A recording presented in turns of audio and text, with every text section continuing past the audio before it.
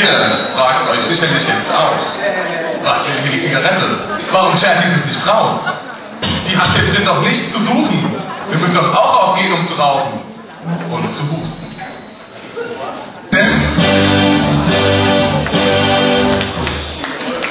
Denn in Deutschland haben wir auch endlich einen Nichtraucherschutz-Flickenteppich.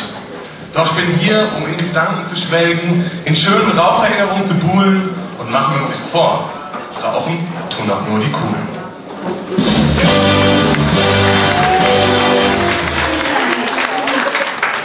Zuerst möchte ich mich bei allen bedanken, die, nachdem sie für 10 Euro tanken, noch 4 Euro in meine Brüder investieren. Fans wie euch sollte man nie verlieren. Aber auch alle.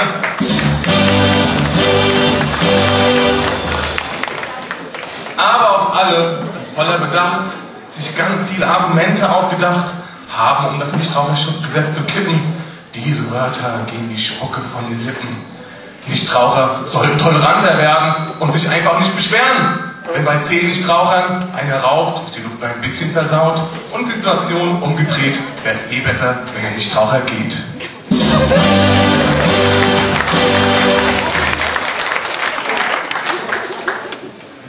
Und weiter ging's mit dem Raucherkampf, ganz intelligent und extravagant. Es wurde sachlich argumentiert, dass jeder Vierte seine Arbeit verliert. Dem Staat fehlt jetzt die Kippensteuer, das kommt den Steuerzahler teuer. Für Straßenbau und Waffenkauf kommen jetzt nicht mehr die Raucher auf.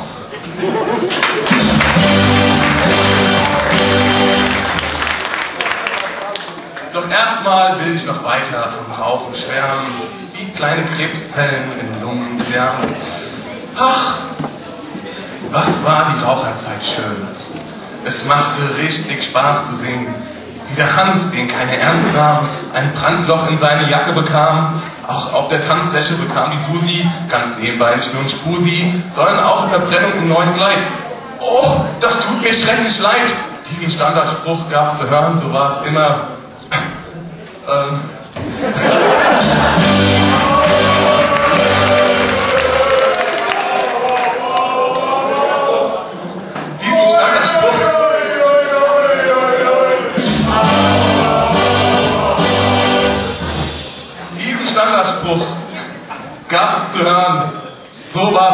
Ich kann es euch schwören. Auch wenn einer zusammenzuckt wegen Verbrennungen auf der Haut, war es für Entschuldigung in der Disco oft zu laut.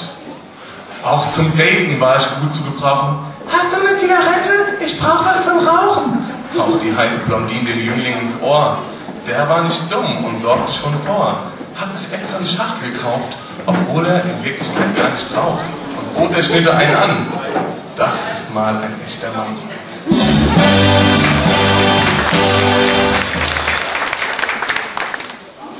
Die Olle sich da wieder rumgeht, kurz Danke sagen geht, sei jetzt mal dahingestellt. Er war ein Mann und das ist was zählt. Mein Konsum zog sich, man kann es so sagen, durch alle gesellschaftlichen Etagen. Von der Toilettenvorstehfrau bis zum höchsten Manager. Ja genau, man rauchte gemütlich im Pausenzimmer, es gab kein Geheule und kein Gewimmer. Ganz nach dem Motto, jeder raucht so viel er kann. Denn nach der Pause am Schreibtisch gleich nebenan musste man sich wieder unter Kontrolle halten und in der nächsten Pause war wieder alles beim Alten.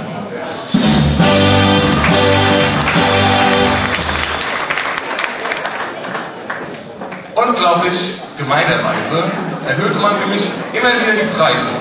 Das klingt vielleicht hart, aber ich kann euch sagen, irgendwie muss man die Chemopharmas ja bezahlen. Doch meine beste Kolonie, die Zigarettenindustrie, war schlau und wirklich auch sehr fix und arbeitet mit allen Tricks. So gab es Zigarettenschächtelchen, ganz kleine, sie kosten nur die Hälfte und das war das Feine, doch hielten sie auch nur halb so lang. Und dann verspürte man hier diesen Drang, zum Tabakgeschäft zu laufen und eine neue Schachtel zu kaufen. Oder mit dem Auto zum Zigarettenautomat. Auch das bleibt unserer Umwelt demnächst wohl erspart.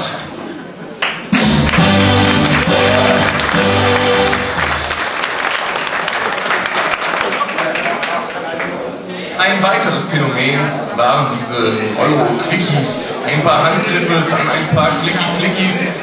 Dann war die Zigarette auch schon am Start. Man konnte endlich rauchen in voller Fahrt. Das hatte man sich nach dem Umstand auch verdient und die Umwelt mit noch mehr Hülsenmüll bedient. Aber ein Laster wie mich, das leistet man sich gern. Dann fährt man halt eben eine Woche weniger in die Ferne. Und statt den Lolli für die Kleine steckt sich Papa erstmal eine, dann aus Versehen noch in den Kinderwagen reingeascht und die Kleine hat es auch schon genascht. Halb so schlimm kann ich euch sagen, denn Dreck reinigt bekanntlich auch den Magen.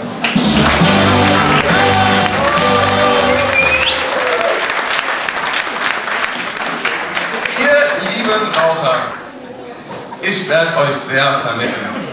Aber ich mache jetzt Schluss und gehe raus, weil ich muss dringend, ja, ihr wisst schon, halt die Ohren steif und bleibt tapfer. Es gibt noch so viel andere Laster. Zum Beispiel dieses mit dem Mann auf der Frau. Jetzt gibt's ein dreifach drinnes La. Mal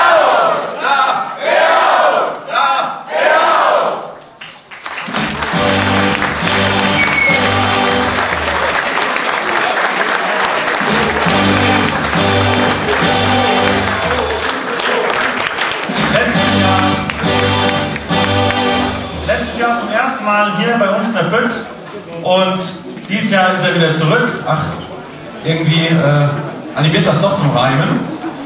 Unser Tobias, die letzte Zigarette.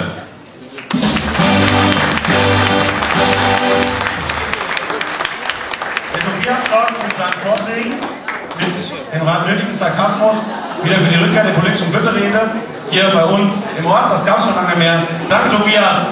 Und für den Tobias ein Läufer, sondern La!